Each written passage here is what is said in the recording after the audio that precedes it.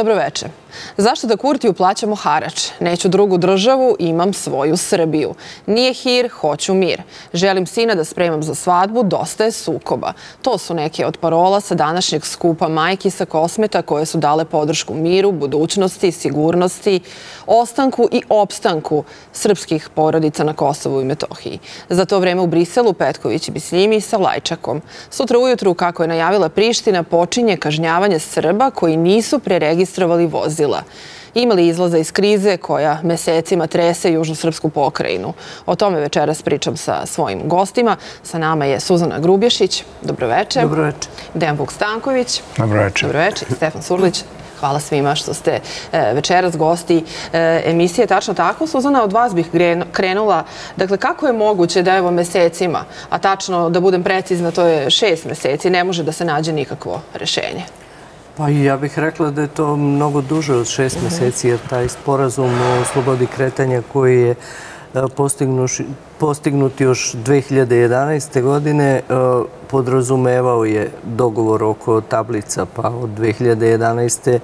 E, nije postignut dogovor odnosno Srbi sa severa Kosova ne žele kosovsko tablice, Kosovo ne želi statusno neutralne tablice i e, sve te godine se probavalo da se nađe rešenja, onda je jednostranom odlukom e, Kurtija našao rešenje za koje on misli da je dobro, a to je da silom nametne e, Srbima sa severa, sa Kosova, da, da prihvate kosovske tablice. I sad smo bukvalno u, u situaciji da se e, odluka prvo prolongirala na e, mesec dana, pa na još mesec dana, pa evo sad 48 sati. To je neko produžavanje agonije e, koju dole Srbi preživljavaju. Jer zamislite sad, evo, tentativnu situaciju. Ja se nadam da će do nekog dogovora doći, odnosno da će Kurti prihvatiti Boreljev predlog da ne naplaćuje kazne, pošto su neke kazne već napisane, mhm. sad bi valjda trebalo da krenu u naplatu. Zamislite sad da specijalci koji su tu već na, na severu, specijalne kosovske jedinice, da oni kreću da oduzimaju tablice ili vozila. Pa je li stvarno neko misli da bi Srbi to mirno posmatrali i da ne bi bilo incidenata, a možda i nekog sukoba? Dakle, nadam se, nemamo još potvrdu iz Brisela da je, da je to sad rešeno, ali ta Boreljova ponuda je mm, fair ponuda koju je Srbija prihvatila, odnosno predsednik Vučić prihvatio, ali Kurti nije. I evo danas na, na sve to, na celu takvu situaciju koja je e, vrlo, vrlo ozbiljna, on kaže da će sledeći put ići u Brisel samo da potpiše sporazum o, o međusobnom priznanju. Ja bih rekla da on neće ići u Brisel tim povodom uopšte. I pored toga još mnogo njegovih izjava i ona čuvena kako se zapravo zabavlja na svim tim pa, e, pregovorima. Može on da se zabavlja, ali to njegovo zabavljanje možda ima strašne posledice e, po mir i stabilnost u ovom delu Evrope, u regionu. Mhm. Dakle, nije nikome do zabave. Cilj je da se nađe e, rešenje. Evropa je ponudila sad jedno rešenje, mi prihvatili, on odbio. I, ali računam i na, da završim time, računam i na Sjedinje američke države, pošto taj jedan poziv je promenio uh Kurtiju odluku pa je produžio rok za još 48 sati. To je sve kratkoročno. To je poziv koji menja sve, mislim. Jeste, jedan poziv koji menja sve. To je kratkoročno i to, to mislim da koliko god je neko odahnuo ta dva dana, bojim se, bojim se da bez, bez zaista nekog dugoročnijeg rešenja e, neće biti spokoja dole na severu Kosova. Gospodine Stankoviću, isto pitanje za vas i samo bih dodala kakva je, kakva je ovo igra živaca i e, šta zapravo Kurti želi? Pa Kurti želi da nametne sebe kao protagonistu kosovske nezavisnosti u onom najneposrednijem i u najsirovijem smislu. On želi da pozitivni zakoni Kosova važe na celoj teritoriji Kosova i on želi da kroz jedno simboličko pitanje, a to je pitanje registarskih tablica, u stvari dobije nešto što je politički i suštinski važno. To je priznanje da svi građani Kosova, bez obzira na to da su Albanci i Srbi, prihvataju tablice koje izdaje Kosovska saobraćena policija. I to bi onda bio dokaz zapravo da se i Srbija složila, da se i Srbi složili, da Kosovo ima punu kontrolu recimo nad kretanjem nad svojom teritorijom. To vam je jedna manifestacija državnosti, to Kurti hoće. E sad, nevolja sa svim ovime što Srbi to naravno ne mogu da prihvate. Država Srbija ne padaju na pamet da učestvuje u tako nečemu, a čitavu stvar vode zapravo zemlje Evropske unije, one najznačajnije, koje su u prvoj nedelji priznale nezavisnost Kosova. I koje kada sadržinski gledaju tu Kurtijevu ambiciju i te njegove stavove, zapravo nemaju šta mnogo ni da mu prigovore. Ono što oni mogu da urade i pretpostavljam da će insistirati na tome je da minimalizuju štetu od tako jednostranih poteza, odnosno da kontrolišu bezbednostni rizik koji je sada veći nego ikada. Jer uzmite praktičnu situaciju, dakle neko neće da uzme kosovske tablice, vozi se onim starim tablicama koje su statusno neutralne, kosovska policija po zakonima TZV države Kosovo ima pravo da im zaustavi, da, im da ih isključe iz saobraćaja, da konfiskuje vozilo, da privede vozača. Tako nešto uradite nekoliko puta, put do sukoba je vrlo jednostavno. Jedan sukob je tu lančana reakcija. Dakle, jedan incident će povući drugi, drugi treći i onda ulazite u jednu zonu ove, konflikta gde ne može ni Srbija da sedi stivištenih ruku, gde međunarodna vojna misija ne može više da štiti samo sebe, nego mora da se umeša, gde onda verovatno imate radikalniju retoriku iz Beograda, gde punu podršku u realnosti ima taj stav da Srbi napuste sve kosovske institucije. Dakle, Kurti se u ovom trenutku igra zbog svog političkog ega, igra se sa opstankom ljudi na Kosovu, igra se pomalo onako ozbiljno koketira s mogućnošću fizičkog sukoba između te takozvane kosovske specijalne policije i građana srpske nacionalnosti koji tamo žele da ostanu da žive. Ali potpomognut Pa nesumnjivo potpomognut. Dakle, s time moramo da računamo kada pričamo o ovoj stvari. Dobro. Druga je stvar što je diplomatija uvek stvar nijansi i što sad neko ko sedi u Briselu ili neko ko sedi u Vašingtonu, možda i u Parizu, i u Berlinu, i u Londonu, odmerava štetu od takvog e, kurtijevog ponašanja pa kaže, znaš šta, hajde to da se, da se, da se odloži. Imali ste recimo američkog specijalnog zaslanika za ovaj deo sveta, Gabriela Escobara, koji je rekao da se to odloži za 10 meseci. Međutim, tih 10 meseci nije 10 meseci u koje je samo zamrznuta priča o tablicama. To je 10 meseci u kojima se hvata zalet i konkretno priprema ono što se zove sporazum o normalizaciji odnosa između Srbije i Kosova. Odnosno taj takozvani pravno obavezujući sporazum u okviru koga sveobuhvatni pravno obavezujući sporazum, što vam jasno govori iz naziva zapravo šta je to. Dakle, čak i ako bi dobili time out od tog dela međunarodne zajednice, dakle, tog zapadnog dela međunarodne zajednice po ovom, po ovom pitanju, ako bi se dogodio taj, kako ste vi to citirajući valjda onu pesmu Party Breakersa, ovaj, e, e, rekli poziv koji menja sve.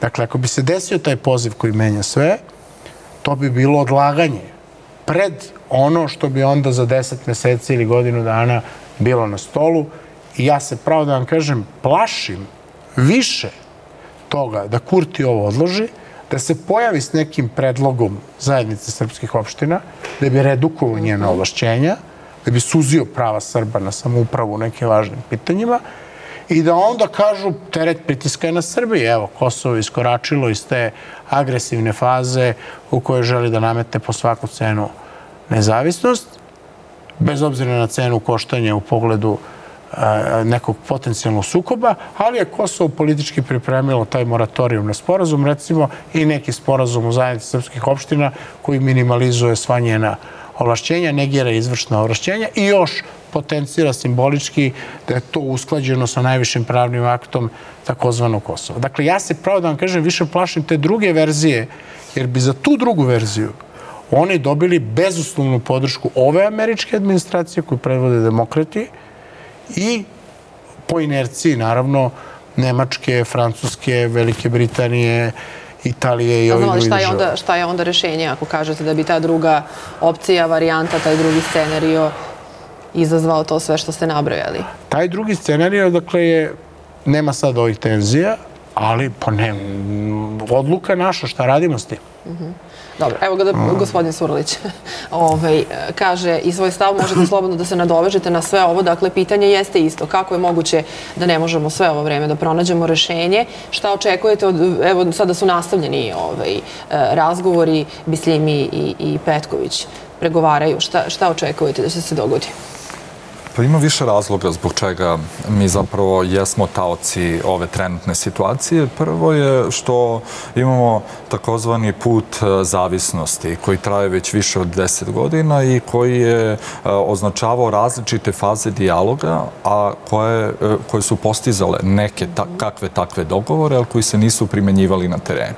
Pa čak i one benigne sporazume koje imate u takozvanoj tehničkoj fazi koje su se ticale ovaj, slobode kretanja, carinskih pečata i tako dalje, do onih krupnijih kao što je briselski sporazum koji je zapravo zagarantovao postojanje zajednice srpskih opština, odnosno osnivanje, a ujednu integraciju Severa Kosova, ništa se od toga realno nije ostvarilo na terenu u kontekstu normalnog života Srba i Albanaca. Srbija jeste ostvarila sve ono što je bilo do nje što se tiče konkretnih obaveza.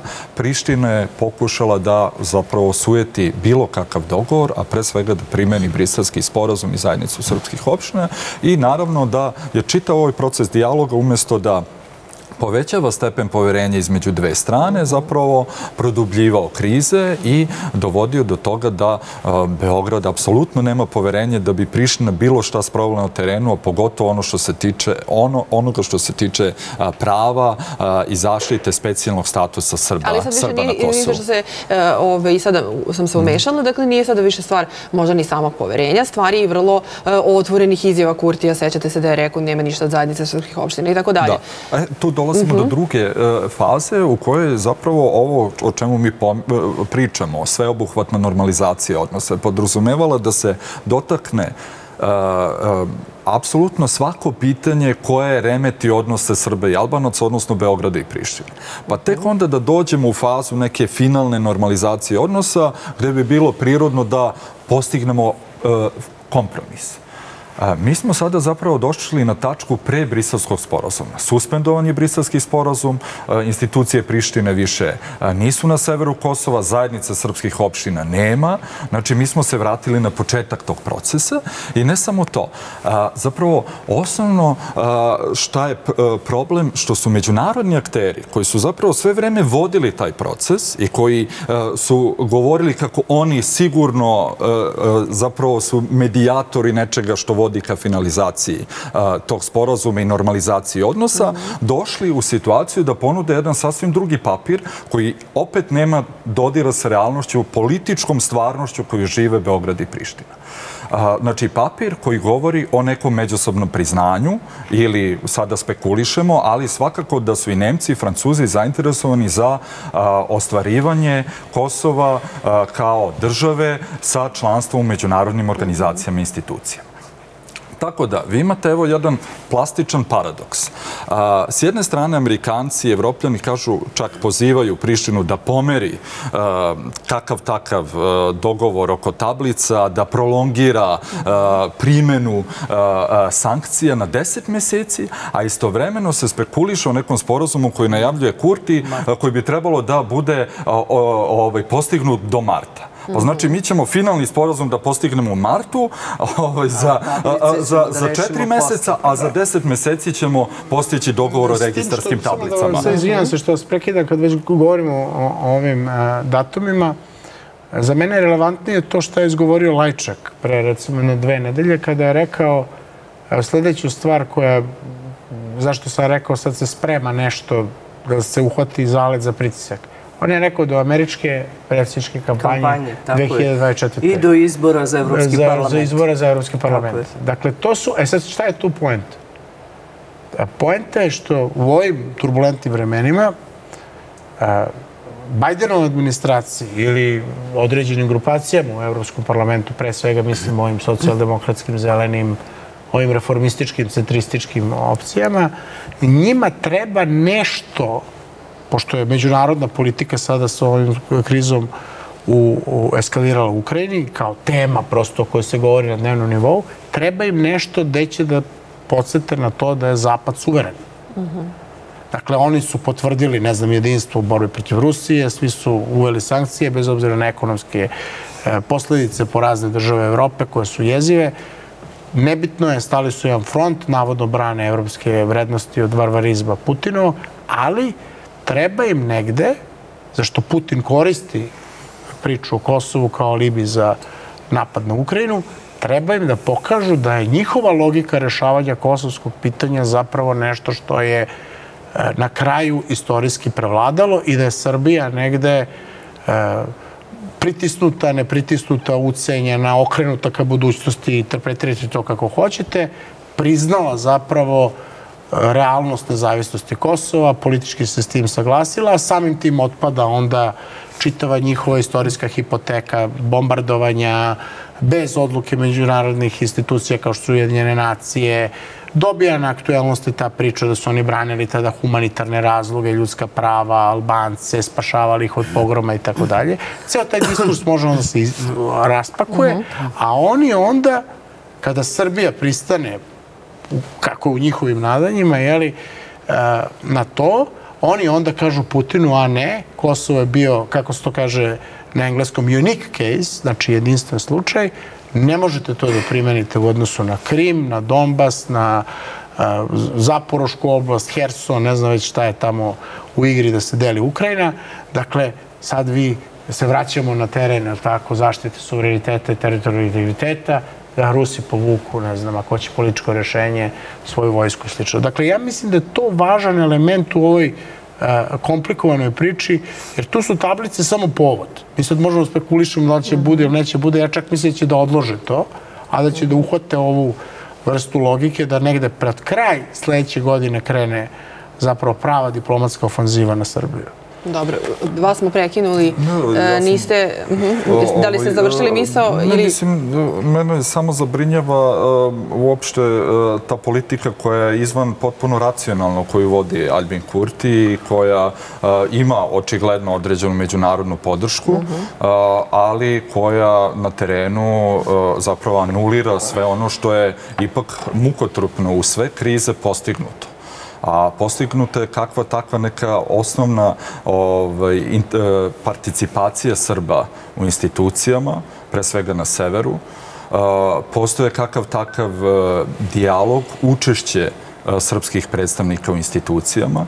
Mi sada zapravo imamo Srbe potpuno van sistema a, koji brinu o svojoj egzistenciji i pitanje na koji način će se zapravo vlasti u Prištini obračunavati sa njima. Jer ove poruke koje se šalju su, e, iz Prištine su sve agresivnije. Šta mislite o tom potezu, Pa, evo, napuštanju potez, na primer, e, ministar unutrašnjih poslova u Prištini kaže da se e, predstavnici MUPA koji su zapravo dali ostavke e, e, nikada više neće vratiti u sistem, da će tražiti druge ljude. A, Zatim to insistiranje da se u decembru održe lokalni izbori, iako je očigledno ukoliko se ne postigne dogovor a, da Srbiji na njima neće učestvovati. Znači, doći će a, da vrše vlast na lokalu ljudi koji nemaju nikakav legitimitet i tako dalje. I to su sve epizode koje na kraju mogu da dovedu do ozbiljnog konflikta na terenu i kao što sam rekao, ne samo da anuliraju sve ovo što je do sada postignuto, nego da nas a, vrate na, na početak srpsko-albanskog sukoba. I ne samo to za, za Kurtija,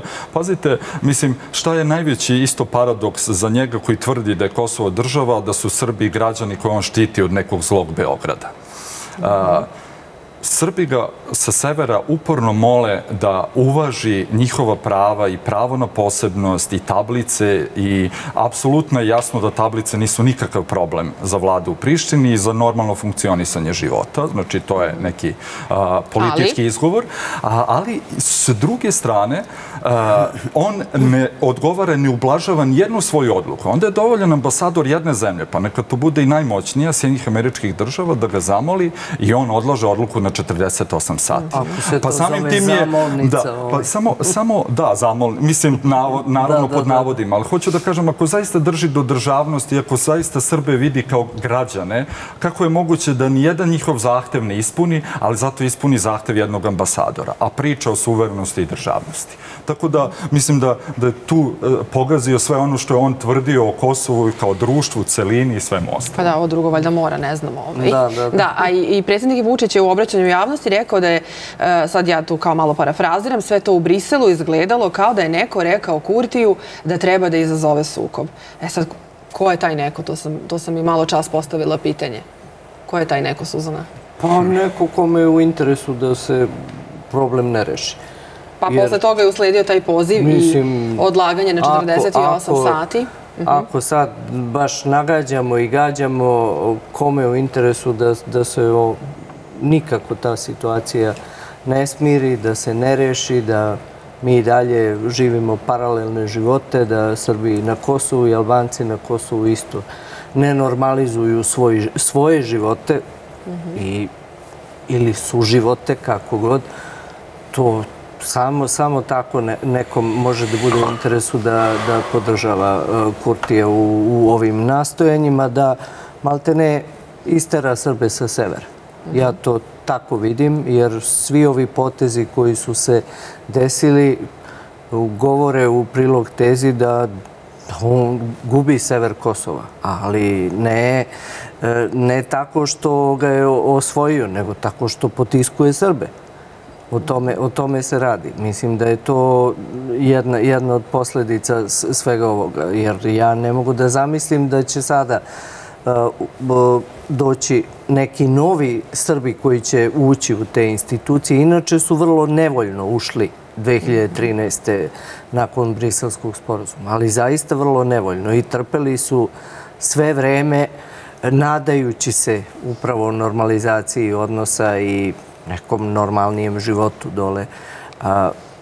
Ko će se to vratiti sad? Koji su to Srbi koji će ući u te institucije? A s druge strane, ne znam isto ko će zvanično da proglasi da briselski sporazum isto više ne važi, da je to završeno, da je to ostalo mrtvo slovo na papiru. To evropljani neće, a kažu jer su oni e, bili garant tog sporazuma koji se nije, koji se nije ispunio. Ali sve... Ja sad mi tu pričamo o tome da je jedan čovek jači i od sporazuma. Ma naravno da nije, da mhm. naravno da nije jači. Uh, Dobro. Ukoliko Sjedinje američke države procene da, da on više ne treba da bude na tom mestu, može mu se desiti po drugi put da ne bude na, na mestu premijera. Znači nije to, nije to sporno. Ne može on da bude toliko moćan i jak da, da mi sad možemo satima da pričamo o tome šta se dešava i šta, i šta on radi. Ne, naravno, ima podršku odakle, iz kojih sve centara. Mislim da je to dosta isprepleteno i da ne može da se uperi prst samo u, u jedan centar.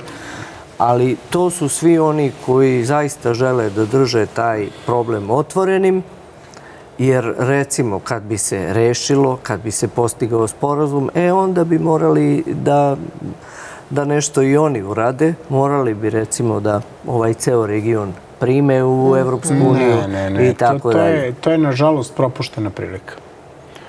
Ja sećam kad su počeli ti pregovori sa specijalnim zasjednikom unih nacija, mislim Martija Tisarijem, tada je naša strana predlagala dva evropska rešenja. Jedno je Južni Tirol, je tako, gde su rešeni političke tenzije između Austrijanaca i Italijana, a drugo su Olandska ostrava, gde su rešene tenzije između Finaca i Šveđana. Da je neko teo da evropeizuje ovaj region, ta dva modela bi koristio. Ne bi predložio model nadgledane nezavisnosti, koja bi se pretvorila u punu nezavisnost posle tri godine referendumom građana Kosova na što je Srbija tada to trebalo da pristane. pa je onda došao i Šinger 2007. ili 2008. ne mogu tačno da se setim, mislim da je 2007. Pa je onda onako cinično ponudio model dve Nemačke koji vidim da se reaktualizuje ponovo. Prihvatanje modela dve Nemačke je jedan ciničan predlog kojim Nemci pokušavaju da skinu ljagu sa svoje istorije, jer do dve Nemačke se došlo nakon što je poražena nacistička Nemačka. Ako bi Srbija prihvatila i u istorijskom smislu model dve Nemačke, ona bi prihvatila u stvari ulogu mini nacista tokom ratova 90. godina. I mi taj istorijski kontekst, kad pričamo o ovim konkretnim stvarima, mi naravno to ne potenciramo, to je neka šira slika, to je nešto što se ne vidi direktno, ali to su hipoteze od kojih oni polaze. Mm -hmm. Dakle, koliko ja znam, sve vlade ovde u Srbiji koje su pregovarale o Kosovu, pregovarao je prvo Slobodan Milošević, pa je pregovarala posle Đinđić Koštunica vlast sa G17 Vukom Draškovićima koji su bili, pa je pregovarali su posle Tačić i Tadić, pa onda Vučić i Dačić i sad da ne, ne nabrajamo, svi su odbili to. To finalno njihovo rešenje kao demokratska volja građana Kosova, šta je, pa to neka bude. Svako je to odbio zašto je znao da tamo postoji ogromna većina Albanaca nasuprot proteranim Srbima i ostalim Srbima koji ne bi mogli tu odluku da dovede u pitanje. Dakle, da mi budemo tu vrlo jasni. Zapad od nas hoće da mi sebe doživimo kao ratne gubitnike i da kao ratni gubitnici konsekventno prihvatimo da je Kosovo nezavisno i suvereno, zato što Kosovo neće da bude deo Srbije. To je tačka. -huh. I šta će sada rade? U situaciji u kojoj se kroz ovu ukrajinsku krizu i kroz neke druge krize u svetu ljulja globalna supremacija Zapada, opasnost postoji da oni shvate ovo područje kao mesto gde oni mogu da potvrde svoju moć, kao što su pravili ogled iz bezbednosti i svoje istorijsko-političke dominacije 99. mogu sada to da kažu ovde. Šta hoću da vam kažem? Suzana, pravedno, prav, pravilno i pravedno, što bi rekli stari Grci, kaže da svako ko je protiv tih sporazuma je protiv normalizacije. Ali ajde da preokrenemo stvari. Zašto mislite da neko hoće normalizaciju? Neko možda hoće nenormalizaciju, neko možda hoće sukob. Zašto? Pa da bi pokazao svoju premoć. Da bi Albance iskoristio kao svoju pešadiju, hoće na terenu da odradi prljav posao, kao što Ukrajince koriste kao svoju pešadiju u odnosu na Ruse. I kada kažete neko? Neko, to je zapad, politički zapad. Nema da se zavaram. Dakle, politički zapad će Albance ovde instrumentalizovati da pokaže svoju premoć u ovom regionu. Ukoliko proceni da ta vrsta konflikta nižeg intenziteta može da dovede nas u jednu neugodnu situaciju da nešto pokušamo da se branimo, a da te Srbe po onom modelu koji je već testiran 95.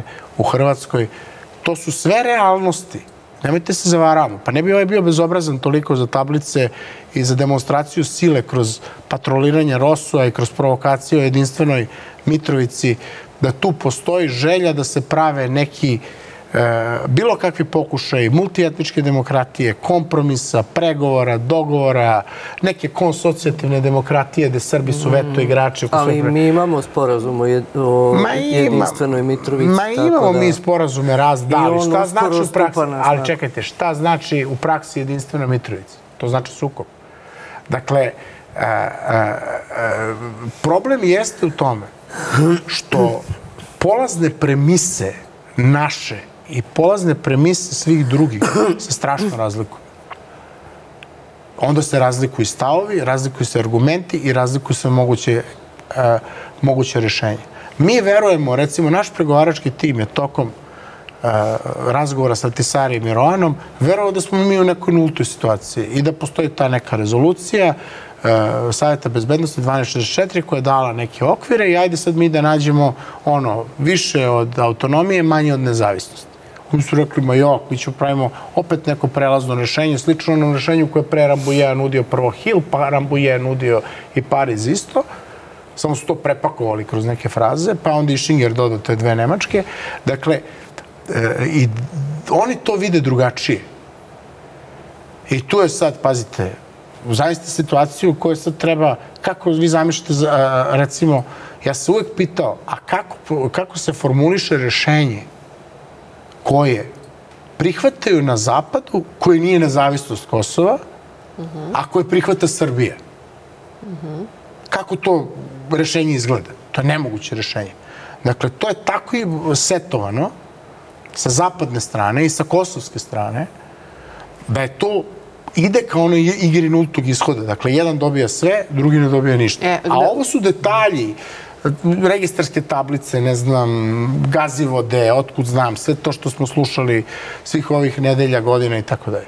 I drugo, ajte da, da, da, da pre nego što pustim eh, Stefanu, pretpostavljam da čeka pitanje, eh, svako od tih pregovarača zna za jedno nepisano pravilo međunarodnog eh, prava i politike, a to je da se eh, potpisani dogovori moraju poštovati. Ako su oni pustili deset ili više godina da ovi ne poštuju ništa, jasno je ka čemu idu, idu ka igri nultog ishoda.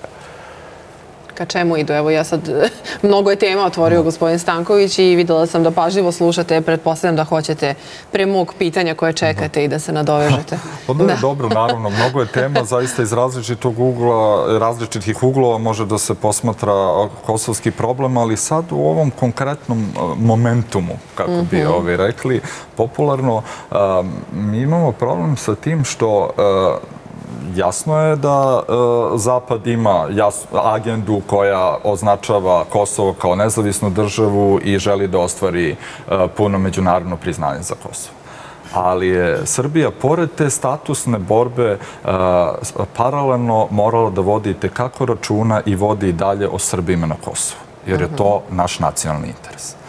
E, I suštinski problem e, koji je napravila međunarodna zajednica sa state building procesom na Kosovu je to što nije ostvarila minimum osnovnih prava za Srbe na Kosovu. Znači, vi kada pogledate bilo koju poru njihovog svakodnevnog života, vi ćete naići na problem. Da li su to matične knjige, da li su to katastre, uzurpacije imovine, a, imovina Srpske pravoslavne crkve, kulturna baština, lične karte, registarske tablice. Znači, nema teme koja nije problem za Srbe na Kosovu.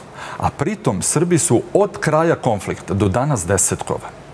Deset, nema ih u urbanim sredinama sem, se, u Severnoj Mitrovici, a, uglavnom ruralna područja i pritom im se uskraćuje ono što a, je osnova njihove egzistencije a, proklamovana kroz zajednicu srpskih opština, to je da imaju punu autonomiju izvršno ovlašćenja u četiri oblasti. Znači, u četiri oblasti, zdravstvo, obrazovanje, a, ruralni, a, urbani razvoj, odnosno ekonomski razvoj i planiranje. I to je nešto što je ključno i naša zapravo Srbija nikada ne može da zaboravi, pored ove međunarodne bitke koju vodi oko statusa. Međunarodni akteri su pokazali da oni zapravo ne vode ni malo računa o tome, da im, e, da im je priča o zajednici srpskih opština i bilo kakvim pravima za Srbe zapravo samo neka uvijena forma kako da lakše prodaju finalni statusni e, e, kompromis Mhm. Srbiji, da kažu evo Srbiji će dobiti kao neka prava usput, ali opet to neće biti, zamislite, jednu potpuno nelogičnu komparaciju, neće biti Republika Srpska. I svi ponavljaju to, znači i Saracin, i Escobar, e, i Lajčak. Ne brinite, to neće biti Republika Srpska. Kao da je Republika Srpska neki Republika- monstrum. Pazite, Republika Srpska nema više izvorna dejtonska ovlašćenja od vremena Westendorpa i Pedija Eždauna koji su ta ovlašćenja postepeno i Ukidali, neopozivo ukidali.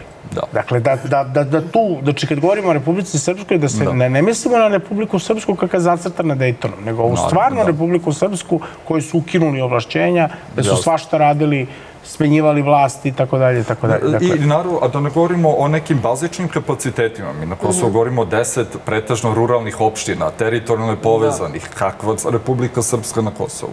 Znači, e, naprosto po brojnosti stanovništva, znači Albanci na Kosovu čine preko 90% populacije.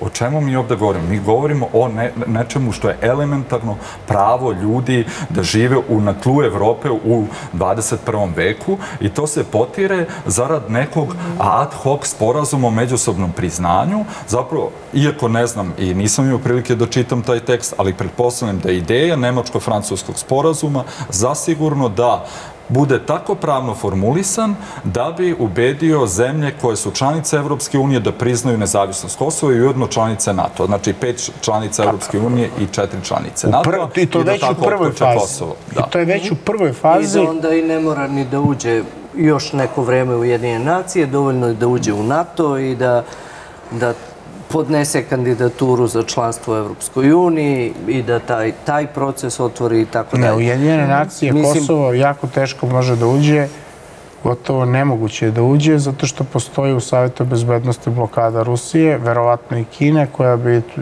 se pridružila Rusiji zbog svojih pre svega interesa, a s druge strane, kako, koliko ja vidim, pada broj priznanja Kosova, ima još sedam zemalja koje će to da, Da, ali povuku. generalna skupština Generalna ne glasa skupština- o tome, nego ukoliko želi da postane posmatrač, a Savet bezbednosti je taj koji... Pa dobro, ali će da bezbednosti ruski Da. veto je, koliko ja znam, obezbeđen. Pa, A, a s druge strane, Ja a s druge strane, pa za sada nije demantovan. pa neće nikad biti demantovan. Pa ali- dobro, to je sad, naravno, otvoreno pitanje. Ne možemo mi sad da interpretiramo Ruse bolje nego oni sami sebe. Da. Ali činjenica jeste da ne može se čak ni govoriti ni o statusu posmatrača. Drugo, ovde se ne traži od Kosova, možda bi Srbija tu žabu mogla i da proguta, da to bude Palestina, pa da bude posmatrač.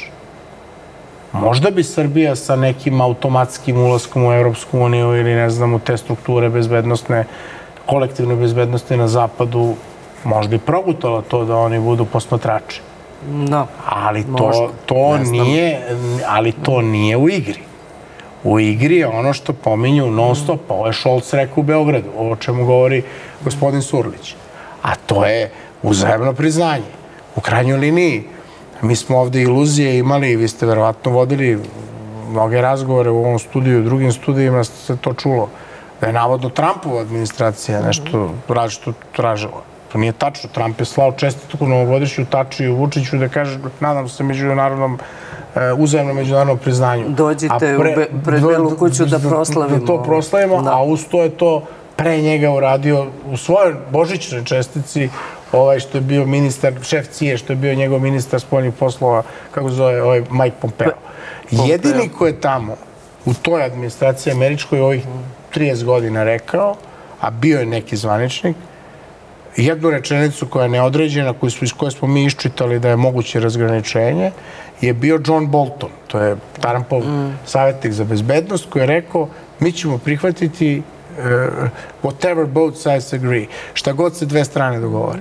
Ali Bolton je zbog Venecuele smenjen i onda posle toga iako je bio američki ambasador koji je bio protiv NATO agresije 99. godine u Ujedinjenim nacijama, Bolton ima senzibilitet za taj konflikt, bolji nego Biden i bolji nego ovi površni eh, neokonsi koji su deo tog establishmenta, uključujem tu i Grenela. Ove, dakle, Bolton koji je smenjen je jedini američki e, ovaj, političar koji je, što bi rekli, namignuo nekom drugom rešenju. A onda su Nemci to posekli komačem, jer I njih... vi danas imate Vučića koji je rekao, ne danas, nego Da. koji je rekao da više veruje Americi nego, nego Evropskoj uniji. Zapravo da Evropskoj uniji ne, ne veruje ništa. Mislim, Pa što bi im verovao?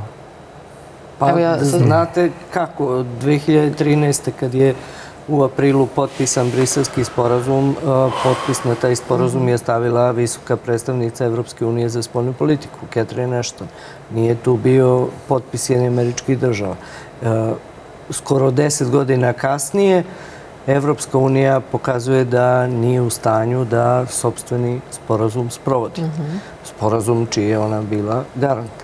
Uh, odatle potiče ta rezervisanost prema uh, Evropskoj uniji kao akteru koji može da ispuni ono što je dogovoreno.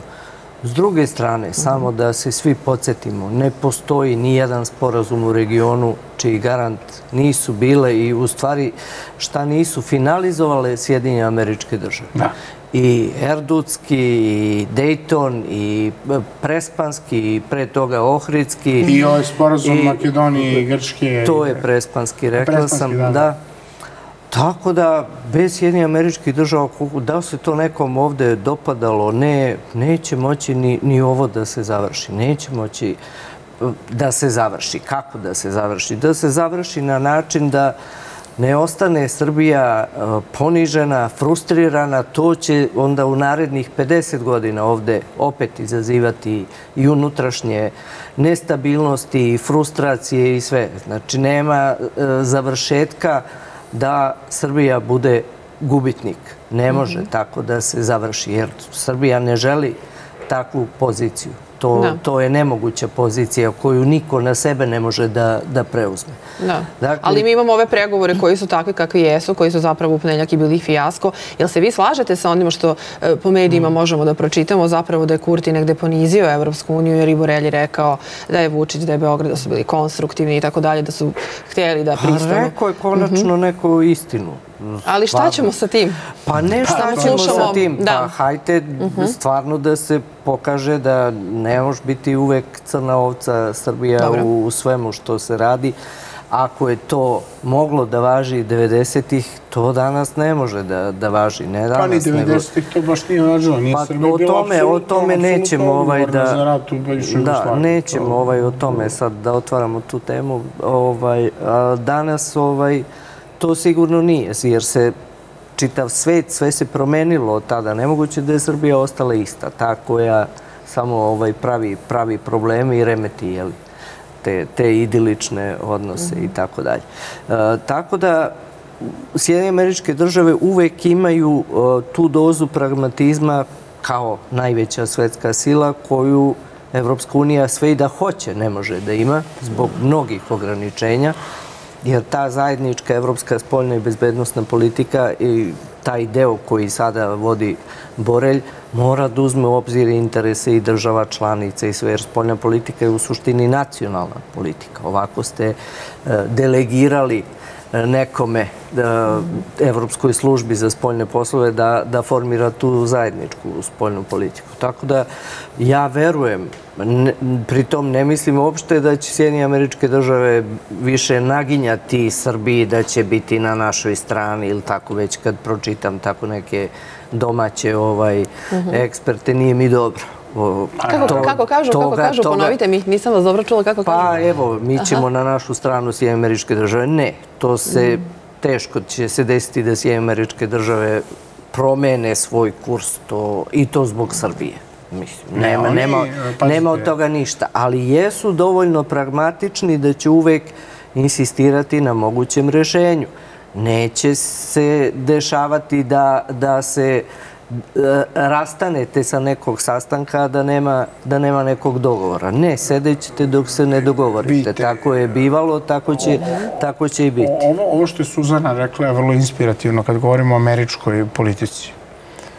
To nije politika nekih strogih identifikacija geopolitičkih koje su dubinske kada je reč o identifikovanju prijatelja i neprijatelja, nego je pragmatična.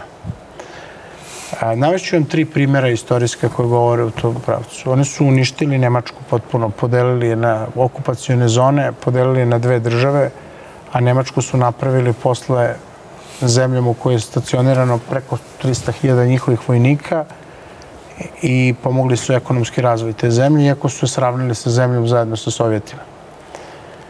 Nemačka je sada član Evroatlantske zajednice i u vreme Trumpa čak se smatrala jednom od nosilaca te ideologije liberalno-demokratske i kapitalističkog, globalnog kapitalizma. Dakle, taj denacifikacujući proces je doveo Nemačku do jednog nivoa političke kulture institucije koji je nalik američki. Druga zemlja je Južna Koreja. Posle Korejskog rata oni su postali glavni američki saveznik. Takođe Japan, koji na koji su bacili dve atomske bombe. Vidim da sad protestuju protiv Rusa, oni su već to uradili. Ovaj, I četvrti primjer. Evo sada Rekli kad ste da ima tri. Ima Dobro. četiri. Sad mi je pao na pamet i četvrti. Koliko su bili? 11 godina u Vijetnamu, je li tako? Tamo su sipali napalm, ubili, ubili, ubili mili, dva miliona ljudi, a koliko shvatam sada prave savezništvo sa, sa, sa Vijetnamom Dobro. takođe. E sad, Vratimo šta se sve na- desilo, desilo u tim državama? U te tri azijske države i u jednoj evropskoj državi. One su prihvatile konsekvence američke pobede do kraja, a onda su pragmatično Amerikanci te države koje su tretirali kao neprijatelje, koje su porazili doslovno porazili, ne birajući sredstva, dakle to je bilo bombardovanje Nemaca i kad nije neophodno po civilnoj infrastrukturi, ne samo tamo da je neophodno. To je bilo bombardovanje Vjetnamaca i civilnog stanovništva, to je bila nuklearna bomba, to je bilo učešće u ratu u Koreji. Dakle, oni su prosto ovaj, njih porazili, stavili ih za pregovarački stol i su prihvatili njihove uslove i onda su postepeno od njih u nekom periodu dve do tri decenije pravili saveznik. Ja mislim da su oni sličnu nameru imali sa Srbijom. Ako čitate memoare ovog njihovog ambasadora koji učestvo u petom, kako zove Mogomeri, oni su tražili od nas dve stvari. Jedno je da prihvatimo istorijsku odgovornost za ratove na prostoru bivše Jugoslavije, da priznamo Kosovo. Ovo smo prihvatili nevoljno kroz pritisak koji su odnosili na Haški tribunal. Što im je bilo neophodno da geopolitičku arhitektoniku nastalu raspadom Jugoslavije politički racionalno pravdaju, ali nezavisnost Kosova ne možemo da priznamo. Da smo posle 5. oktobra to što je Montgomery tražio, uradili, možda bi danas tako, kako kaže Suzana, osakaćeni, prebijeni, istorijski poraženi, možda bi se ta, u njihovim očima, ta slika menjala i mi bi možda dobijali neke posljede. Međutim, mi smo nastavili jednu liniju naše politike, koja po mom mišljenju svak konstantna politika, a to je odbrana teritorijalnog integriteta i državnog suvereteta u odnosu na Kosovo, bez obzira na ideološke profile vlada. I onda sada smo u stvari na polaznim osnovama, kada govorimo o odnosima sa njima, na kojima je bio manje više ovaj, naš državni vrh prilikom raspada Jugoslavije. Jer, pazite, nama pored Kosova iza ugla čeka i drugo važno nacionalno pitanje, a to je status Srba u Bosni. Ne zaboravite da je pre godinu i po dve u javnosti bio pušten jedan, mislim da se on zove Sejdić Finci, ili tako? Ne, Do, Sejdić Finci je slučaj bio pred ne, ne, ne znam šta. Evropskim ne, sudom bio, u Strasburu, koji treba da plan, da sprovede Bosna i Hercegovina. Ne, ne, bio je neki plan o pet kantona, ne znam ko je to napravio. Bio je neki plan koji je imao, čak je finansiran sa zapadom. Dakle, da se Bosna i Hercegovina preuredi, da se ukinu ova dva entiteta i da se ona preuredi u pet kantona, gde bi se kao pod paskom funkcionalne, demokratizovane Bosne i Hercegovine jeli, napravila napravio da je u krajnjoj liniji za majorizaciju uh, Srba i Hrvata od strane Bošnjaka, jer to je, Bože moj, potrebno da se poprave odnosi između Zapada i Arapskog sveta. Turske i ostatka Arapskog sveta. Dakle, na račun Srba i Hrvata. Dakle, to je, to je ono što oni vama šalju onako kao poruke, a vi sad te poruke, da li hoćete ili nećete da prihvatite ili kako ih interpretirate, oni vam puste to tako i čekaju sa strane. Čak se lično ni, ne ulažu u to, puste Kurtija da ima ove provokativne izjave, da igra ovaj e, tango ovaj, rizika i neizvestnosti koji generiše njegove specijalne snage i to onda ide svojim tokom koji ide. Eto. Gospodine Sorliću, kako Srbija postupa u ovom trenutku? Po vama? Mislim da postupa jedino moguće. Znači, kao što sam rekao, ona je ucenjena pre svega statusom Srba na Kosovu. Mi ovde nemamo jednu liniju razgraničenja između Srbe i Albanaca, pa kao što mnogi propagatori zamrznutog konflikta kompariraju sa, ne znam, Kiprom, ovaj, da to može da traje decenijama, naprosto ovde pitanje šta jeste interes Srbije, jeste opstanak pre svega srpske zajednice i zato dijalog nema alternativu.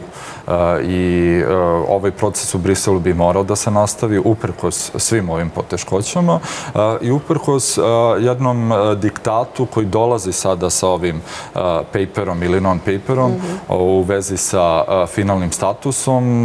Naprosto Srbija nema u ovom trenutku, bar ja nisam mogao da čujem, ni jedan razlog zbog kog bi ona ušla u fazu finalizacije nekakvog sporazuma sa Prištinom. Znači, nije rešen status Srba na Kosovu, nije rešeno pitanje srpske imovine i svega ostalog što se tiče Kosova. Srbija je vodila politiku koja nikada nije insistirala na bilo kakvoj reintegraciji, osim naravno nekog manjinskog političkog dela.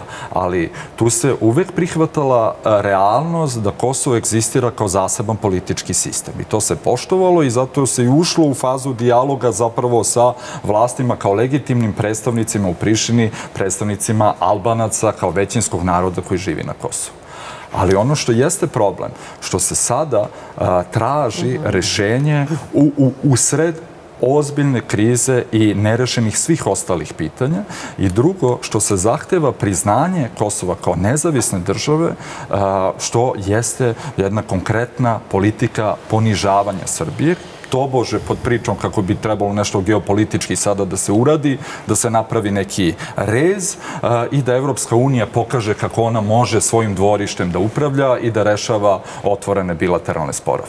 Ali Srbiji se ne nudi ono što, niti može da se nudi ono što se priča kao neki brži put ka Evropskoj uniji. Da, to je to, stalno postojala ta priča da je to zamena za... To je zaista jedna izmišljotina koja nema mm -hmm. dodira sa realnošću. Prvo, hipotetički da zamislimo da sutra Srbija prizna nezavisnost Kosova, ništa uh, brže neće ići ka putu ka Evropskoj uniji. I vidite i slučaj sa Severnom Makedonijom koja je rešila jedno veliko identitetsko pitanje, naravno mnogo manje u odnosu na Kosovsko, pa sva ona obećanja o nekom bržem putu, napretku i svemu ostalom su pala u vodu. Severnu Makedoniju sačekao još jedan ultimatum. A ako uvede sankcije Rusiji, to je ono što ide uvek uz ovo? Ne mislim ni to. Znači, mhm. zapravo sada, čak i ako bi se to desilo, nakon sve ove negativne kampanje koje postoje u evropskim medijima, mislim mislim da bi se čak i uvođenje sankcije predstavilo kao eto iznuđen potez, ali Srbije i dalje neka vrsta proksija Rusije na Balkanu, tako da, da e, taj momentum e, za uvođenje sankcije zapravo propušen ako je zaista htelo da se kao e, ovaj, vodi politika koja bi Srbiju predstavila kao usmerano isključivo prema Zapadu i, i zemljama Evropske unije. Ali još nešto što se podmeće jeste ideja o ubrzanom članu članstvu koju bi trebalo da obećaju politički akteri koji možda za 10 i 15 godina zapravo neće vršiti vlast u svojim zemljama i ne znam na koji način institucionalno, evo, bolje da na to da odgovor gospođa Grublješić, ali institucionalno da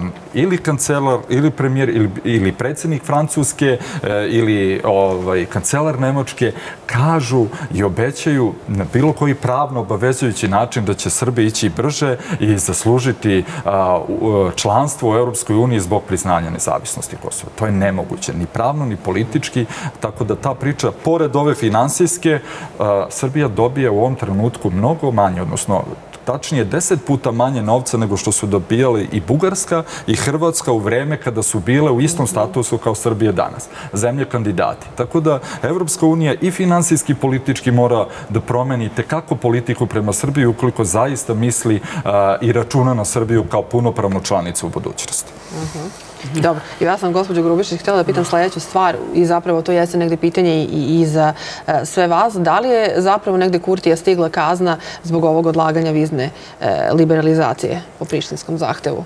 Pa da, odložit će do 2024. godine. Pa to im drže isto kao neki mhm. uslov odnosno ispunili su sve te mhm. tehničke uslove. To nije znači deo formalnog procesa evropskih integracija. Kosovo je i dalje na nultoj tački, mhm. nisu mada preti da će podneti ovaj kandidaturu mhm. krajem godine, ali mislim da neće sad ni to, kako stvari stoje. Vizna liberalizacija se odlaže, ali ta vizna liberalizacija ako dođe na Kosovo, njen rezultat će biti da će maltene svaki punoletni albanac otići sa Kosova, sada je legalno. Takva je situacija trenutno, ne trenutno, nego već neko duže vreme. Dakle, svi ekonomski pokazatelji, kad vidite, su poražavajući. Isto korupcija, organizovani kriminal, sve sve ono što smo slušali da je uspostavljena je vladavina prava, sve slobode su na delu, mhm. pa to maltene ništa od toga nije tačno. Pa setimo se da su i restrikcije struje krenule još od avgusta. Dakle, nije na vreme ništa, ništa urađeno. Ali i dalje je, mi i to moramo da prihvatimo da i dalje je Kurti tamo najpopularniji, da ima najveću podršku, da u parlamentu ima apsolutnu većinu, da i sada kao što sam rekla, jednom su ga skinuli ovaj s vlasti, prete da će to da uradi i drugi put, sad će to možda ići malo, malo teže. Malo je situacija promenjena, bar kad pogledate brojke u Kosovskom parlamentu, mada evo vidim, a verovatno i svi primećujemo kako je Haradina i mhm. da ga, ovaj, da ga zameni kao zapeta puška. Ovaj. U stvari, ostatak kosovske političke scene mu najviše zamera to što kvari odnose sa Sjednjim američkim državama. To je ono što, što mu se zamera. Ne što je on sad, što ne želi Srbima mm -hmm. da izađe u susret, ne želi da, da dođe do dogovora, to tu nema među njima puno mm -hmm. razlika, ali to što kvari odnose sa Sjednjim američkim državama, e, to je, to je najveća zamerka koja, koja mu se izriče. Inače, e, nije realno, apsolutno, da otpočnu proces evropskih integracija, kao što nije realno još uvek ni da, ni da e, konkurišu za, apliciraju, kako se kaže, mhm. za članstvo u NATO ili partnerstvo za mir, pa sve te, e, sve to zahteva status države koja je koja je priznata, koja zna gde su joj granice, sve, sve to ne može da se desi, ali mm govorim o tom nedostatku ili nemanju osjećaja za, za realnost i možda pobuđuje nadu svojim tamo glasačima da će, da će do toga ipak doći. Pa vi vidite kad, kad god oštro nastupi da obraća se svojima dole i dobija aplauze. Da, baš možda žele tako nešto. Mhm. A kakvu nadu pobuđuju majke evo s Kosmeta kada su danas prošetale Kosovskom Mitrovicom i pa, kakva je poruka poslata međunarodnoj zajednici? Pa meni je, meni je to sve užasno tužno, mhm. stvarno.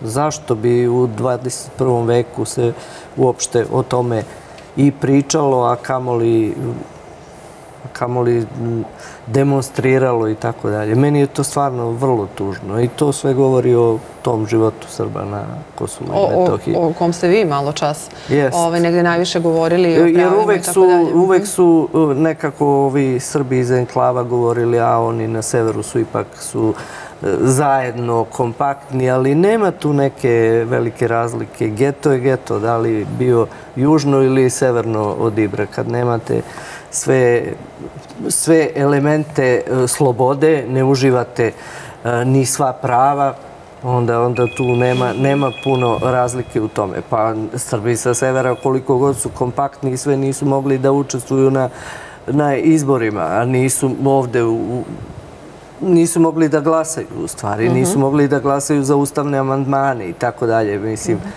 mi smo totalno su neke stvari otišle u u regresiju. Da.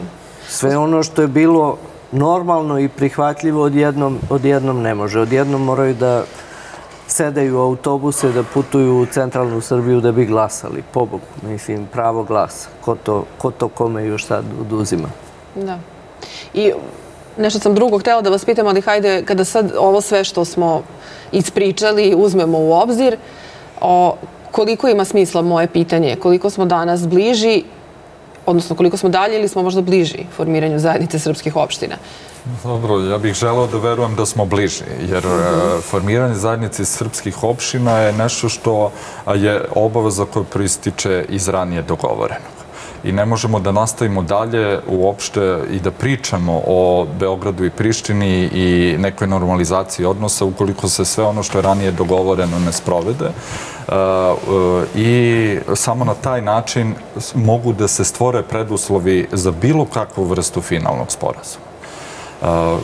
Ja u ovom trenutku ne vidim nikakvu političku spremnost Prištine da primeni zajednicu srpskih opština i mislim da sve ove aktivnosti koje su oni preduzimali, uključujući i zabranu uh, organizovanja izbora, uh, problem sa ličnim kartama, sa registarskim tablicama, uh, su neka na izgled nebitna pitanja koje su imale nameru da u potpunosti stave sever Kosova pod kontrolu Prištine i onda da obesmisle uopšte postojanje zajednice srpskih opština, odnosno da ponude zajednicu srpskih opština koja bi bila nešto više od nevladine organizacije, ali svakako ne, građana, da. ali ne, svakako ne autonomije za Srbe na Kosovu i gde bi zapravo Kurti kupio sebi dovoljno političkog vremena da kaže pa evo ja sam i to je jedna od njegovih mhm. glavnih argumenta u kampanji. Možda ništa nisam uradio tokom ovog perioda političkog, ali sam kao integrisao sever u, u, u, u celokupno Kosovo i ja sam pokazao suverenitet vlasti i na severu. I ova manifestacija, to bože njegove moći, ima za krajnji cilj da kupi vreme za formiranje zajednice srpskih opština. Na kraju on je svestan da to mora da uradi, da na tome svi međunarodni akteri insistiraju, ali želi da je modifikuje onako kako on misli da bi ona bila idealna, to je da nema nikakvu realnu funkciju i da Srbiji dalje ostanu marginalizovana politička i društvena zajednica na Kosovu. Mhm. Dobro. E, vreme nam polako ističe, a hoću i ovu stvar da, da spomenemo. Evropski parlament je u svojoj rezoluciji o proširenju Evropske unije. Od Srbije se traži da se usaglasi sa spoljnom politikom, odnosno da uvede e, sankcije Rusiji. Očekivano, mhm. očekivano, nemam što drugo da vam kažem. Više puta je iz Evropskog parlamenta to bila poruka. Tu poruku donose i svi ministri spoljnih poslova Evropske unije, svake zemlje pojedinačno. U ostalom više puta je to rekao i Jose Borel. Moje mišljenje da Srbija ne treba da uvede sankcije Rusiji, ali treba da se zalaže za načelo suvereniteta i teritorijalnog integriteta na principalnom nivou, jer to je argument koji mi koristimo kada branimo svoju poziciju u odnosu na Kosovo. Kao što sam rekao, postoji neki politički istorijski kontinuitet insistiranja na tom argumentu. Postoji u krajnjoj liniji spremnost našeg naroda da se bori za to. Mi smo 1999. godine imali rat, ratovali smo zbog toga. E sad da uvodimo sankcije Rusiji koja je sprečila u Savjetu bezbednosti rezoluciju o nezavisnosti Kosova, to znači da bi jedinog saveznika koji nas verovatno iz svojih razloga na međunarodnoj sceni podržava da bi tog saveznika negde otpisali. Mm ono što jeste tu naravno uvek dilema je šta mi zapravo hoćemo.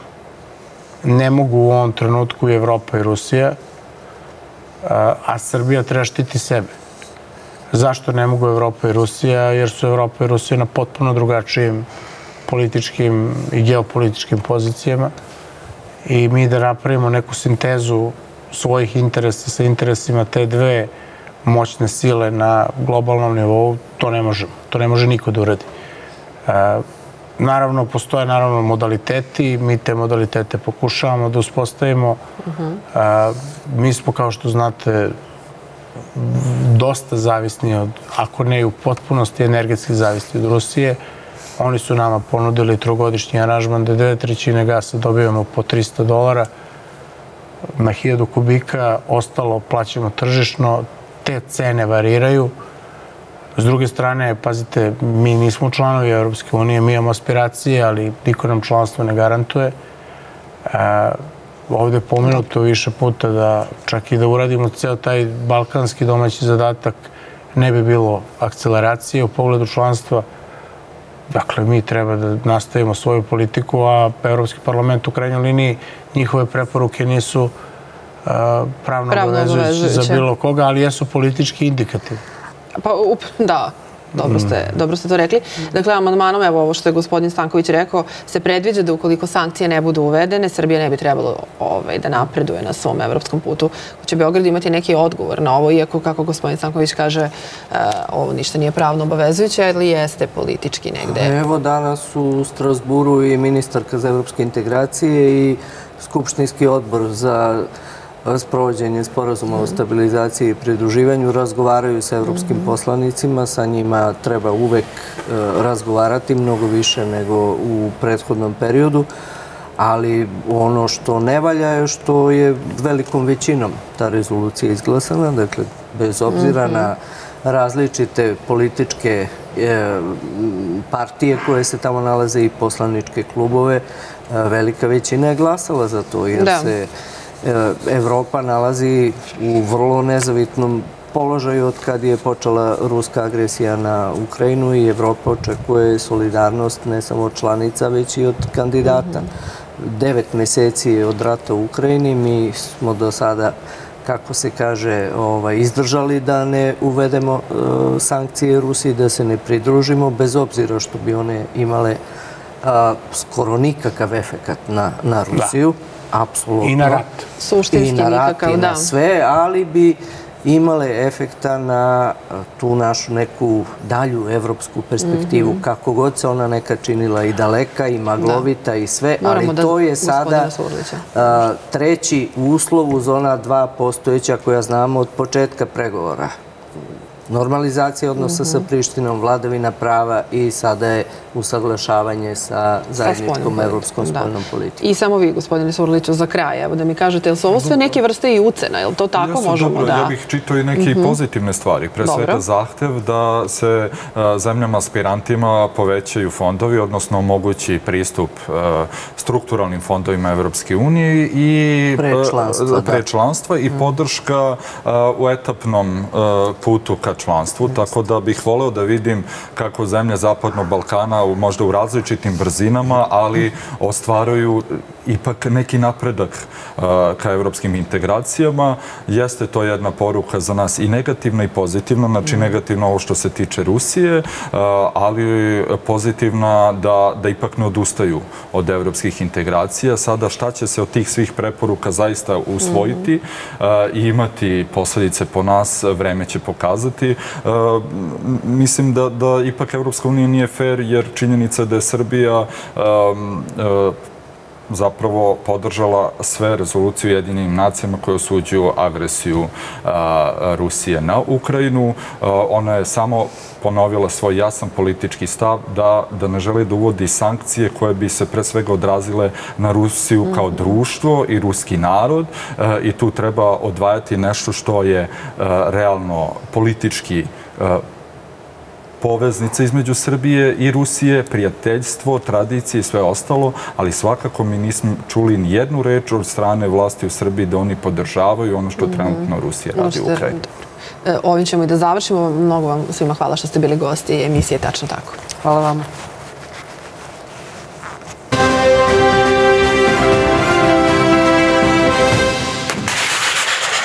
Osam meseci, četiri nedelje i dva dana. Toliko već traje rat u Ukrajini a kada će se završiti niko sa sigurnošću ne može da kaže.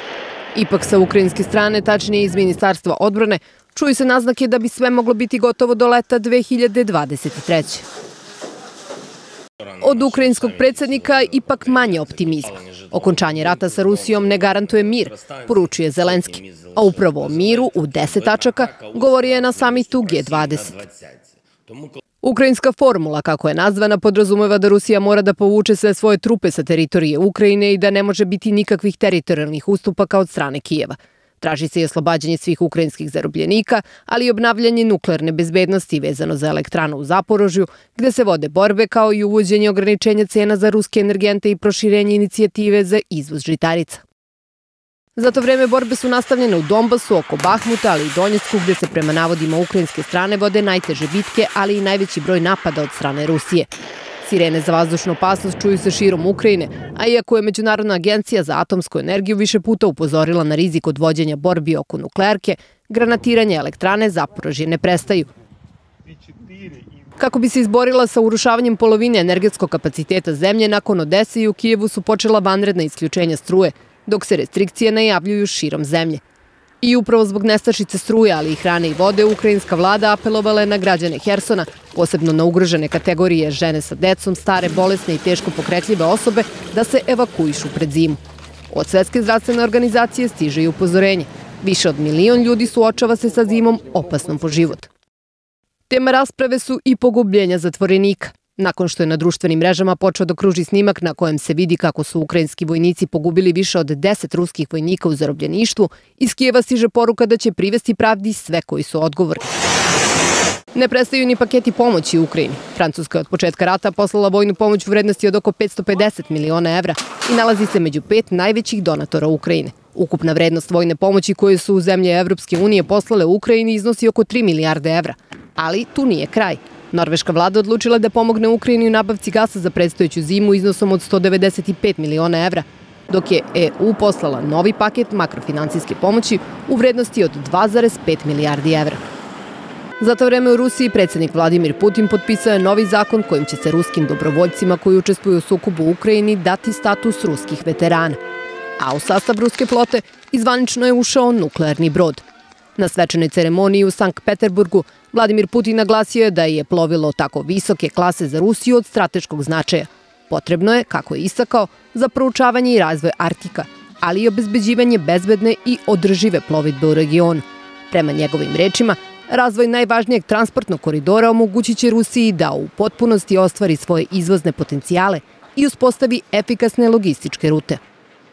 I dok predsjednik Ukrajine poziva alijansu da konačno donese odluku o priznanju Rusije kao terorističke države, Evropski parlament proglasio je Rusiju sponzorom terorizma, tvrdeći da vojni napadi Moskve na civilne ciljeve krše međunarodno pravo.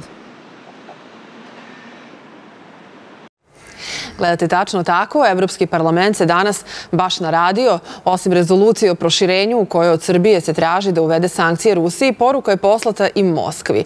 Naime, Evropski parlament je usvojio rezoluciju kojom se Rusija proglašava državnim sponzorom terorizma.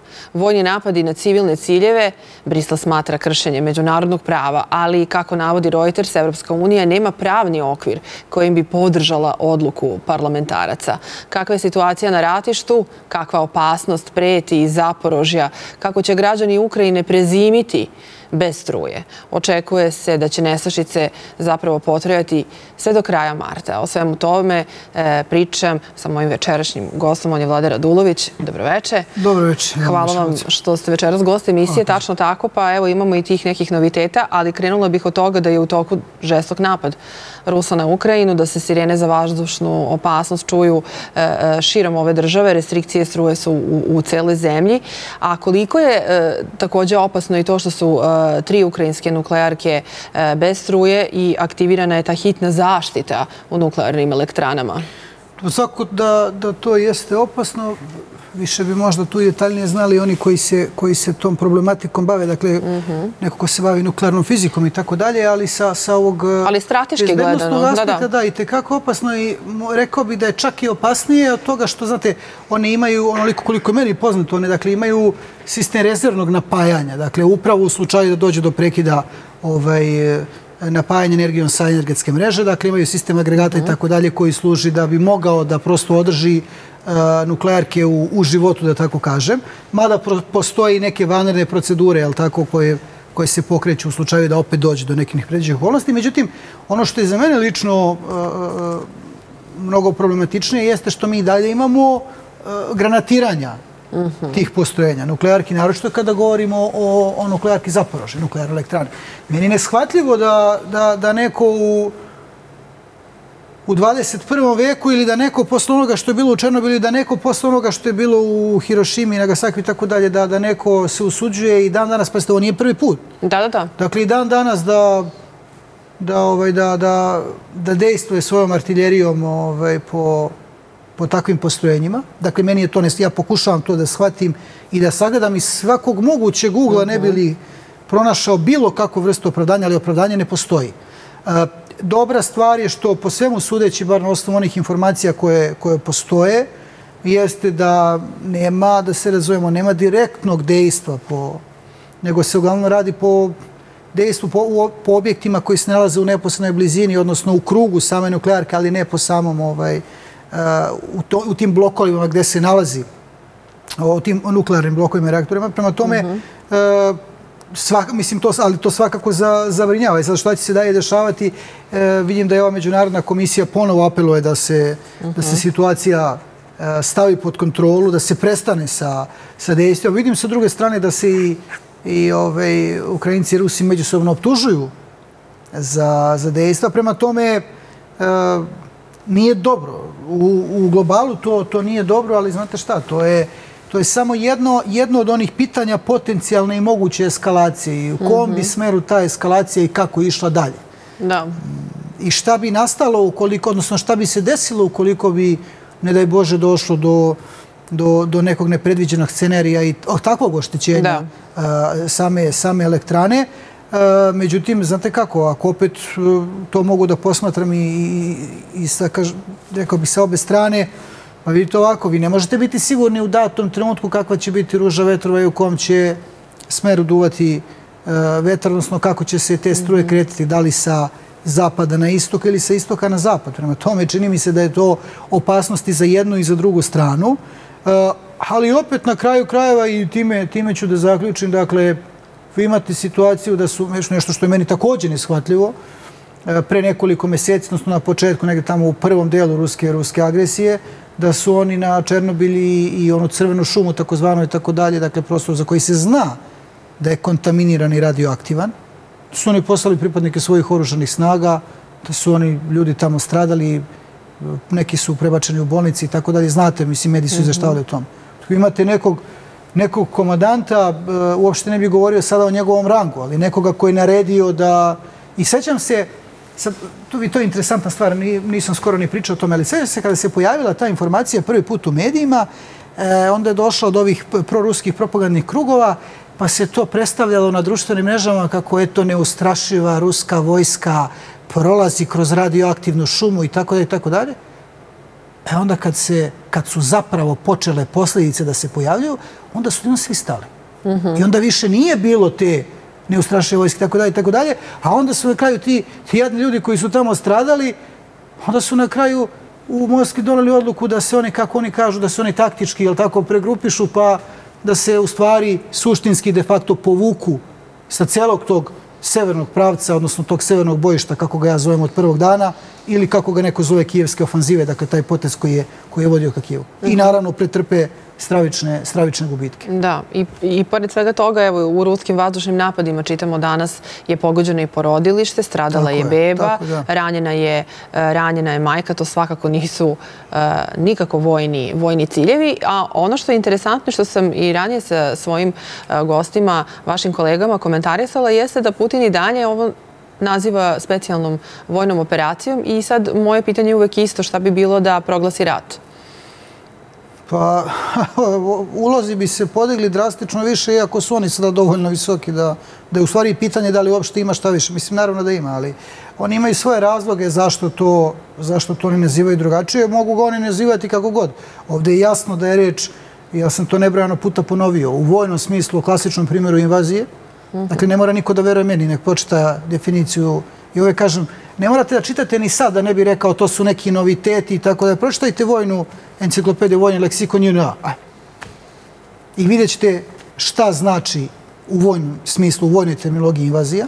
A sa druge strane, dakle, ukoliko govorimo s aspekta međunarodnog prava, ukoliko govorimo s aspekta ne samo povelje Ujedinjenih nacija, već ono što je interesantnije jedne rezolucije Ujedinjenih nacija, onda ćete vidjeti, 74. godina, ćete vidjeti da je reč o klasičnom primjeru agresije. Po svojoj definiciji je u pitanju agresija. Dakle, neka, kada vam neko kaže da je to da je to ruska agresija na Ukrajinu, ne govori on zato što, ne znam, uh, prozapadni ovakav ili onakav, ne nego zato što govori po međunarodnom pravu. Eto, ovdje kod nas očigledno neki ne razumeju, a u principu i nekako po definiciji ne razumeju upravo ti koji koriste termin te takozvane specijalne ovakve ili onakve e, vojne operacije, što je termin koji je, koji je svakako lansirala e, Moskva. Oni ga i dalje koriste kao takav. E, postoji problem kada vi proglasite ratno stanje i kada kažete da ste u ratu, onda ipak sistem funkcioniše malo drugačije. Mm -hmm. uh, ono što, je, što su mnogi postavljali, uh, odnosno na što su mnogi stavljali znak pitanja, uh, bilo je šta dalje nakon tih takozvanih referenduma i šta kada Rusija anektira te, odnosno pripoji jednostrano te četiri sporne, odnosno delove, pošto one nisu u potpunoj kontroli, del, delimično Luganskom, ovaj, mada ni on nije u potpunoj Dakle, šta kada, kada ona pripoji te, te teritorije za sebe? Da li će to tada značiti da će svaki pokušaj Ukrajinaca da povrate tu teritoriju pod svoju kontrolu značiti direkt proglašavanje ratnog stanja i tako dalje? Međutim, ne, i dalje se to, i dalje se to ne dešava. Čini mi se da je jedan od odgovora na to i da je jedan od razloga na to ipak svesnost Moskve da stvari ne idu onako kako su oni planirali i kako su očekivali i čini mi se da u poslednje vreme oni zapravo su otvorili mnogo pitanja na koja treba da odgovore sami unutar svojih krugova. E sad, je upravo, da, upravo i to hoću da vas pitam. Sada prošlo je koliko, devet meseci, jel tako, kako je e, e, rat počeo. I već sam, već sam ja sa vama imala prilike da razgovaram i pitala sam vas i koji su sada ratni ciljevi i šta želi Rusija i šta želi Ukrajina. I evo to vas danas ponovo pitam. Jel danas imamo neku jasniju sliku ili imamo jednu potpuno konfuznu sliku. Danas imamo, izvinite, ovaj, Evropski parlament koji usvoje rezoluciju kojim se Rusija proglašava državnim sponzorom terorizma, na što Zaharova odgovara da su oni državni, ovaj, odnosno da su oni sponzor idiotizma. Dakle, imate i takvu jednu vrstu komunikacije i konverzacije usred Dobro, ove- nije to Zaharove prvi put, da, mislim... Svakako je poznata po svojim- Jest, da, da se da. tako izražava, tako da to ja nju ne bih komentarisao, a davno sam, ja sam jednom samo dao svoj komentar i nema potrebe da ga, mislim, reći ću sada, ali on je jasan. Dakle, ja Zaharovoj ne verujem ništa. Jer je ona bila ta koja je, između ostalih, koja je 22. februara rekla na jasno upozorenje po ko zna koji put da je pitanje trenutka kada će Rusija napasti Ukrajinu, on je rekao, kaže, evo opet ovi sa zapada, sjetit ćete se Mhm, toga. sećam se, sećam se opet ovi sa zapada, ajde neka nam kažu sljedeći put kada planiramo napade, da bismo mogli da planiramo naše godišnje odmore, ne znam, letovanje i tako dalje. A napali su ih za malo više od 24 sata. 23. na 20 odnosno 24. rano, rano ujutro. E, zato ja ne verujem, dakle, šta god, kako god ona i šta god rekla, ja to ne da ne verujem, nego ne uzimam uopšte za, ne želim da razmatram to. Ali dobro, e, to je, mislim, to je njoj očigledno u opisu posla da na taj način i tako, tako to radi. Dezavuiše, E, što da. se tiče ovih ciljeva koje ste pomenuli, znate šta, Čini mi se da kada je reč o Ruskoj federaciji još uvek je ta priča prilično maglovita, iako je tačno i, i, i, mislim da nema sumnje nema zbora da koliko god oni na početku imali jasno definisane ili ne e, ciljeve, koliko god oni lutali e, u pokušaju ostvarivanja tih ciljeva, koliko god ih oni možda previše ambiciozno recimo postavljali u skladu sa očigledno pogrešnim informacijama koje su imali sa terena, a onda ih vremenom redukovali. Činjenica je da vidi danas, nakon evo devet meseci, nakon a, nešto manje od, uskoro, mislim uskoro za, za, za nešto manje od 30 dana, bit će 300 dana od kako je taj rat tamo, oni nisu uspeli da urade ništa. A, sve što su do sada pokazali, to je da se oni taktički pregrupisavaju, nešto preslažu te neke svoje snage i tako dalje. Pazite, na, ja se sjećam kada, kada je agresija počela, tu su, tu su licitacije bile, znate, kao na pijaci. E, Da li će za 24 sata, za 72, za 3 dana, za 5 dana, 7 dana i tako dalje. Gospodo, mi smo sad već 9 meseci tamo, a oni ne samo da, da, su, da drže pod kontrolom one teritorije koje su u prvom naletu zauzeli, već su jedan značajan deo toga izgubili. Dakle, nisam vam bez razloga pominjao to severno bojište, taj kijevski pravac ili kijevsku ofanzivu, kako je ko u literaturi pominje, nebitno je. Ja izvojim severno bojište. Dakle, tamo Rusa više nema. Iako su pretrpeli stravične gubitke i povukli se odatle. Pa ih onda nema ni na severoistoku, Sumska oblast i ceo taj potez od Konotopa ka Sumi i dole. Takođe ih nema, povukli su se, pretrpeli stravične gubitke. Kada pogledate u Donbasu, ta linija koja je stajala od, od početka sukoba, e, tih osam, proteklih osam godina unazad, ona se nešto malo pomera kada govorim kao unutrašnjosti od Donjecka ovamo, dakle, taj potez ka, ka, ka Bahmutu, dakle, nešto malo na pojedinim mestima su neka pomene, ali suština, suština je ostala takva kakva je bila. E, Lugansk e, jeste najveći delom u jednom trenutku i potpuno ceo bio pod kontrolom Ruske federacije. Međutim, imali ste rusku kontraofanzivu gde su gotovo u potpunosti, nije u potpunosti oko Dvorčine, ima jedan deo koji Rusi drže pod kontrolom, ali gotovo u potpunosti iz Harkovske oblasti su isterane ruske snage da su oni ponovo rekli da se oni odlučili su da se pregrupišu i tako dalje. Već su počeli po društvenim mrežama da se šale, pa da kaže, evo, ponovo Rusi prave neku taktiku kotla i tako dalje, taktički se povlače i prave novi kotao. E, videli ste šta se desilo na jednom delu teritorije, odnosno delu, delu Hersonske oblasti, mislim na, na zapadnu obalu i grad Herson. Ponovo je u pitanju, to ste imali opet od strane njihovih, e, e, njihovog vojnog vrha, da je opet u pitanju neko pregrupisavanje gde se oni povlače i tako da i tako da. Mislim, i ja na kraju, ja sam rekao u šali, a nije to mnogo, ni, mislim, oni će na kraju, ne znam, oni će se na kraju taktički pregrupisavati ka Moskvi. Ne razumem, mislim, ne znam šta im je, šta im je poenta. Očigledno postoje ozbiljno veliki problemi na koje oni nisu računali, kojih nisu, kojih nisu bili svesni i očigledno su bili previše uljkani u svoju propagandu. Jer vi, tačno je, dakle, nemoguće je da vi poredite oružanu snagu Ruske federacije i Ukrajine. Mislim, prosto je nemoguće da je poredite ni po jednom kriterijumu. Ali kada pogledate šta se dešava sada na terenu, kada mi govorimo o sigurno preko 100.000 stradalih ukupno na obe strane, sigurno. A verujte mi da ta, ako biste pokušali da to razdvojite koliko na kojoj strani, da te razlike nisu velike, dakle da je to negde oko pola-pola. Dakle da to nisu drastične razlike, onda vi zaista sa pravom možete se pitati, pa čekaj, šta je... Mislim, e, vi ste prihvatili Hersonsku oblast kao vašu, pazite, inkorporirali ste je u Ustav, I sad ste se vi povukli, pa šta, šta ćemo sad sa Hersonom? Mislim, to je administrativni centar te oblasti, ali tako? Mislim, šta, šta, šta dalje?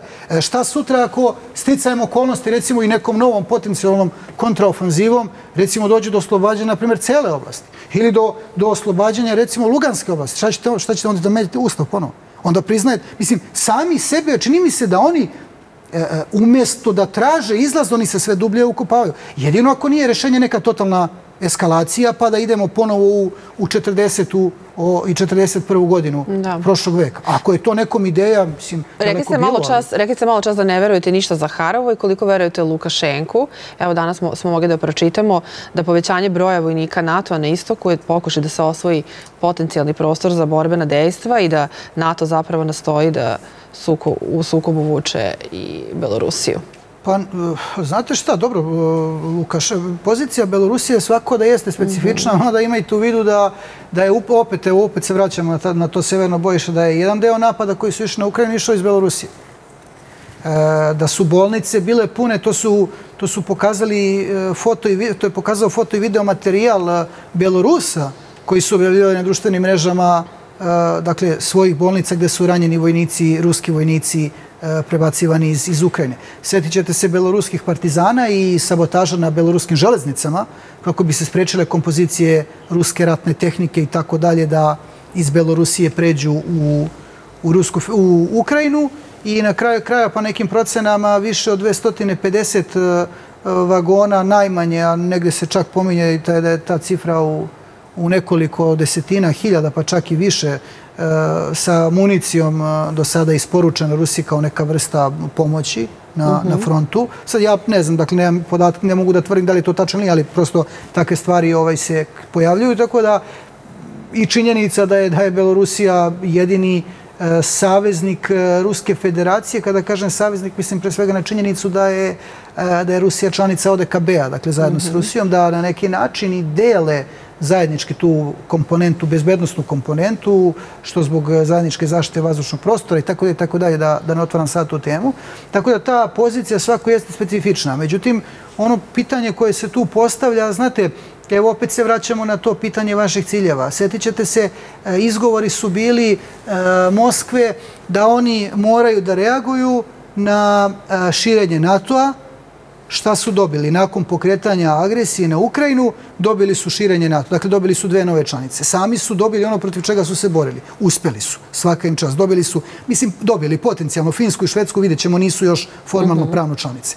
Onda su rekli, kaže, e, NATO pojačava, to je to, pojačava svoje prisustvo na istočnom krilu, čitajte Baltičke zemlje plus Rumunija i Bugarska, mhm. dakle, mi moramo da odgovorimo na to, a onda su dobili još veće prisustvo NATO-a i još veću količinu ratne tehnike na istočnom, na istočnom krilu. Dakle, opet ono protiv čega se borili, samo su uvećali to, bolje da nisu radili ništa.